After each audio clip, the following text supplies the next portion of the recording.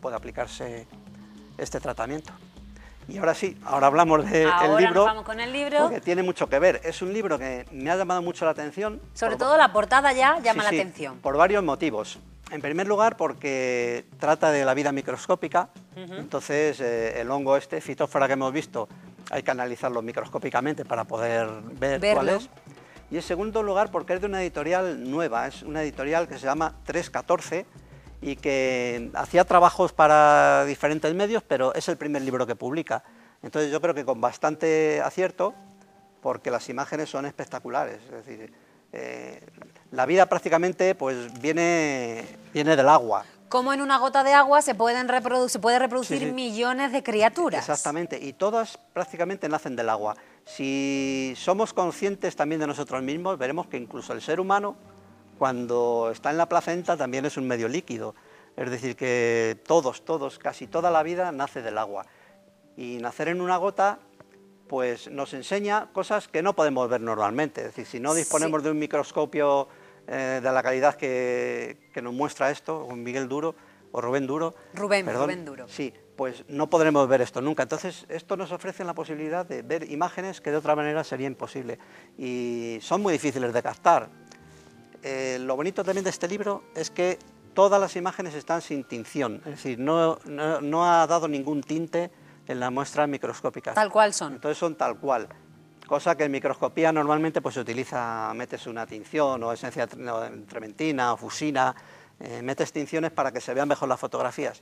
En este caso son totalmente naturales. Entonces, un libro que a mí me ha resultado novedoso y atractivo y que enseña mucho. Y es difícil, es decir, yo también utilizo alguna vez el microscopio para pues, ver hongos, ver esporas, ver- y hacer una foto de la calidad que nos muestra aquí es muy complicado y sobre todo es visualmente atractivo. La cantidad de criaturas que, que pasan de largo de nuestros ojos si no tenemos los medios adecuados. ¿eh? Sí, de verdad la naturaleza es impresionante y curiosamente entre los animales más pequeños eh, también están los más peligrosos. Nunca podemos decir que no hay enemigo pequeño, dice el refrán, y realmente tiene razón. Es decir, eh, las bacterias son letales y son muy beneficiosas también. Los virus son aún más pequeños, que necesitan el microscopio electrónico para verlos. Y los virus son muy agresivos, es decir, que estamos rodeados de naturaleza hasta la más mínima gota de agua. ¿Cuáles de estos animales microscópicos que vemos ahí en, ese libro eh, es el gran olvidado o son los grandes olvidados? Bueno, hay muchos, pero yo animaría a la gente, incluso a los niños, que dispongan de un pequeño microscopio, que no cuesta mucho dinero, que experimenten, que cojan en una charca de, agua de un lago o un- una charquita incluso del campo, que cojan algunas muestras y los vean al microscopio, con un microscopio muy simple. No podremos lograr hacer estas fotografías, evidentemente, pero sí que podemos Pero veremos la observar- vida. Exactamente, podemos observar la vida, podemos obser- observar algas microscópicas que a simple vista no contemplamos, pero que a través del microscopio nos ofrece un nuevo mundo, es decir, nos ofrece, nos podemos sumergir, como dice el libro, en una gota de agua, pues la cantidad de vida que, que hay.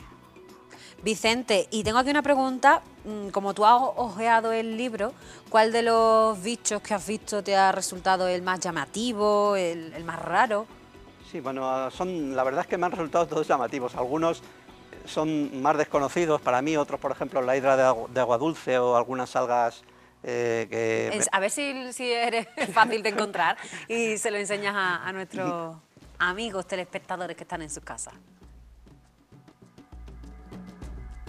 Bueno, por ejemplo, estos son antes de nacer, algunos insectos microscopios, microscópicos antes en el propio huevo, ¿Y qué tipo de insectos? antes de nacer. No lo sé exactamente este qué insecto es, pero vamos, son, son preciosos. La verdad es que las imágenes son impresionantes y sobre todo yo... Que no parece que sean bichos. Claro, es que entiendo la dificultad de, de hacer de hacer estos estas Y fotografías. él es, el, el autor del libro es biólogo. Sí, el autor es biólogo, es, eh, está especializado en este tipo de materias, incluso ha hecho producciones para televisión y para, eh, para otras productoras especi- especializadas en vida microscópica y tiene mm, varios premios, entonces es- se nota que es especialista en la materia y tiene un conocimiento espectacular.